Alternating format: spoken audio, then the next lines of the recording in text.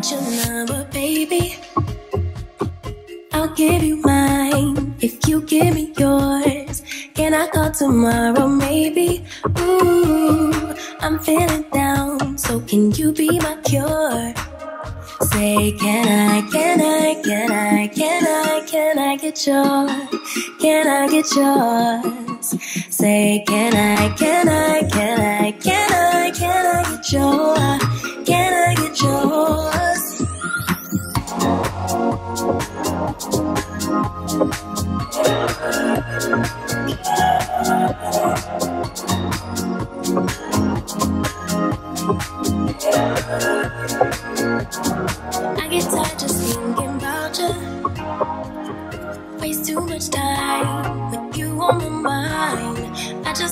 Call you.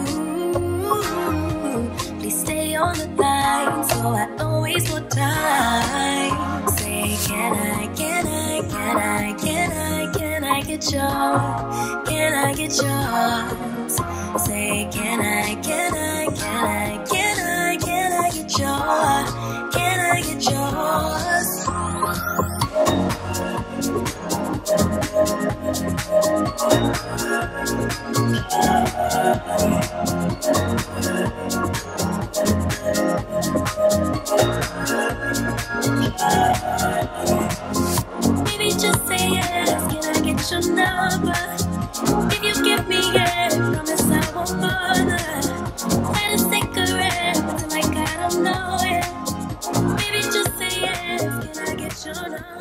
What's up, you guys? Hello, hello, hello. So, I apologize in advance for my scratchy voice, but I'm not really feeling that great. But I'm still here for you guys. So, let's get into this unit. This is a really affordable lace front. It is a 4x4 closure wig, and it's super duper affordable for the inches that I've got it in. I think it's like 179 something like that. It's super cheap. You know, it's a closure, so you're not going to be able to part all over the place. But hey, if you can make it work, girl, make it work. So prior to just this part right here, I did, you know, bleach it and I used my 30 volume developer. And I think I left it on for this particular wig. It had to be like a little bit over an hour because the knots were so visible when I got it. You guys seen that. So I did have to let the bleach sit on for longer. Once I rinsed it off, I did use the Shimmer Lights blue shampoo, excuse me, yeah, purple shampoo. You can get any brand. Um, I have tried the L'Oreal one. It has a better smell, but um, yeah, you can use anyone. But I used that and I let it sit on the lace part of the wig for like about three, four hours. I make sure that it takes out all the brassiness. On the packaging, it always says five minutes, but what is five minutes gonna do, right? So I did that and then I, you know, tweezed a little bit of the hairs out and here we are. And this part, you guys already know, this is me. Like I take the toothbrush and I sculpt those baby hair, wispy hairs is what I like to call them because nobody over here is a baby. But um, yeah, I sculpt them with my toothbrush.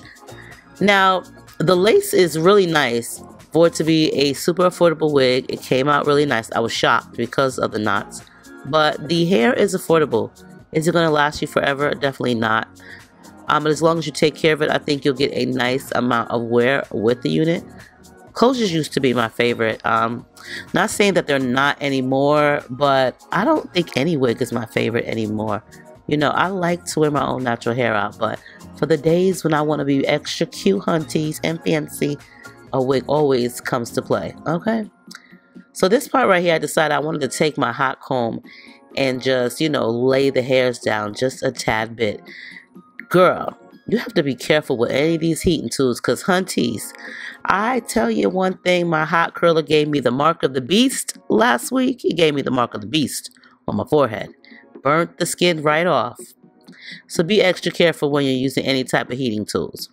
Now this right here is nothing but some good old water from the tap and some cheap conditioner. It doesn't have to be anything fancy, expensive, bougie. Just put you some Dollar Tree conditioner in that water bottle and spritz it down, honey. That's going to help the hair not dry out.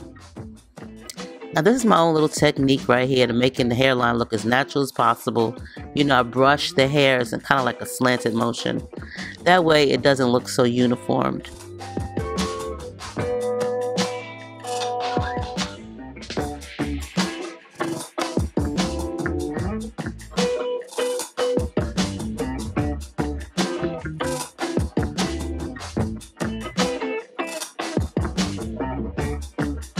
Now the hair is cute. Um, I would say this when you want a nice, thick, juicy, moisturized, bouncy, juicy curl, the best thing to do is to co-wash it, not spritz it down because those are the stringy curls that you get. But if you co-wash it, honeys, it'll come out perfect. So I'll leave all the information down below for you guys. I love you all. Stay diva and divalicious. Make sure you rate, comment, subscribe, and I'll see y'all in the next one. You already know what to do, girl. I love you all. Bye.